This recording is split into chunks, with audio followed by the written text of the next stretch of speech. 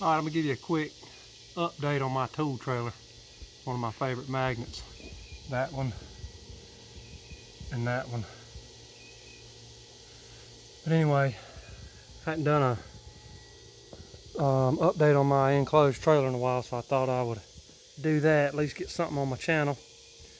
I was just replacing this, this cord that I've got running from the inside. It's just a surge protector, but every day when I get home, I can plug it up and start charging up. I was in here cleaning up.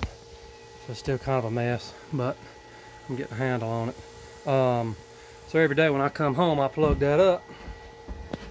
Hits that um, surge protector and I get my batteries going. That surge protector had a bad end on it, so none of my batteries were charging. So all that's going, I finally did get this one. This is a quick charger and it does four at one time. These two down here just got, I don't know if the batteries, I think the batteries and the chargers, I don't know, maybe just the batteries, but I've even got a W wrote on those for a week because those batteries just, they wasn't holding the charge. They'd last five or 10 minutes. I think they're just shot.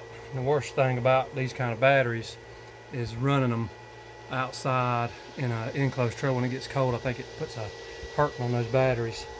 Um, did pick this up.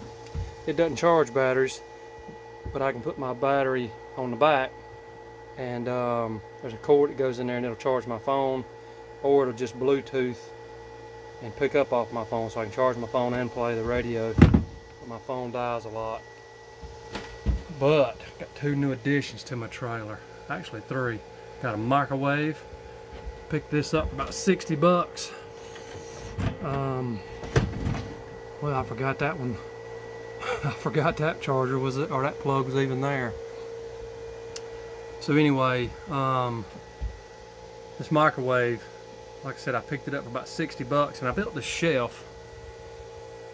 That helped a lot with storage. I usually have my air compressor here.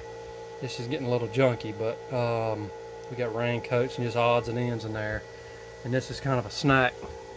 And I'm not doing too good on my snacks usually keep those stacked up in here. This stuff here is really time to throw it out. Just old goldfish pretzels. But I usually try to keep some Pop-Tarts in here and Nekot crackers. Um, even got a little toaster over there. But the microwave, man, that's been awesome. Caleb hadn't been with us in four or five weeks. He's um, working at a military base, working on some airplanes and stuff, so that's pretty exciting. But anyway, when we got this microwave, me and Connor and Caleb, man, you thought we thought we hit the jackpot. But every day at lunchtime, now we can bring more than just sandwiches. You know, we bring hot dogs or leftover spaghetti, whatever. It's nice to have. So that was awesome. And the only thing that could have put icing on the cake was this refrigerator. I had this in my garage, not using it, or we had it plugged in but never put anything in it. But so now we got that. So we can bring our leftovers, um, pop them in there every day. And, we, and, when we get to a job site, if we're going to be there more than an hour, we'll plug the trailer in. So the refrigerator keeps food cold. And then we can come over, pop it in the microwave, and um, we can eat a regular meal instead of eating ham sandwiches five days a week.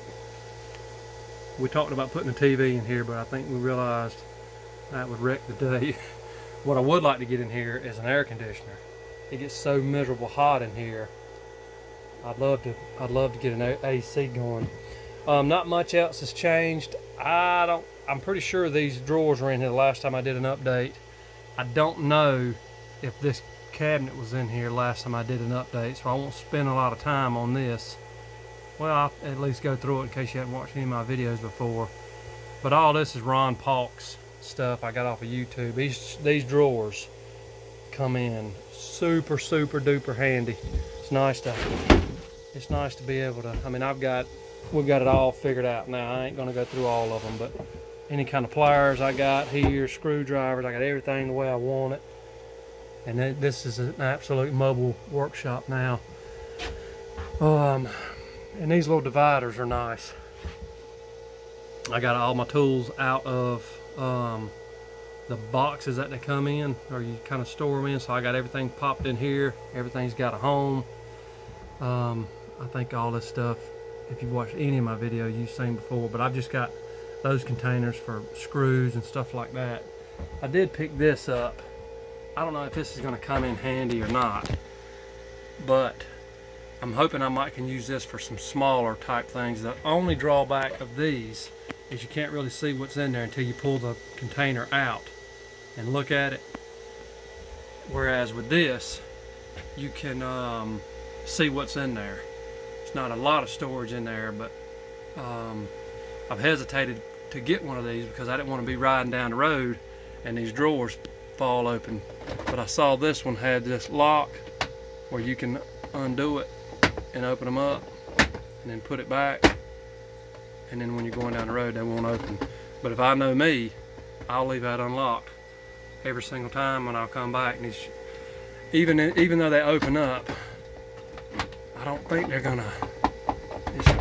They don't come out of there real easy. But if they got a over half full, they're probably gonna spill out everywhere. So I don't know if that's gonna be helpful or not. But nothing else really much to show here.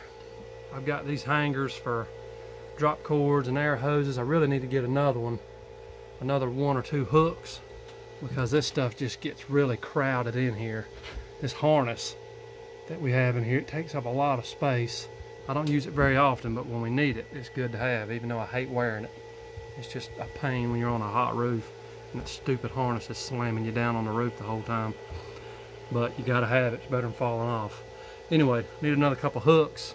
You can see I got a light in here. I used to have this light in my other trailer. I had it on a switch, but this is an LED light. Ain't no point in putting it on a switch. It ain't burning any amount of power.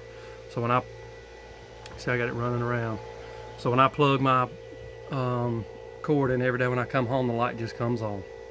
Um, this vent on top got broken by we putting wood on top and just hit it.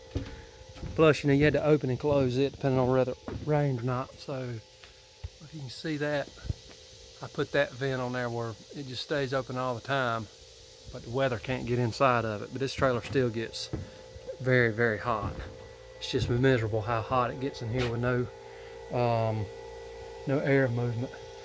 So like I said, I would, I, I've considered getting a little, one of those air conditioners that just sits in the corner. You have to put a vent in it and just blows in here.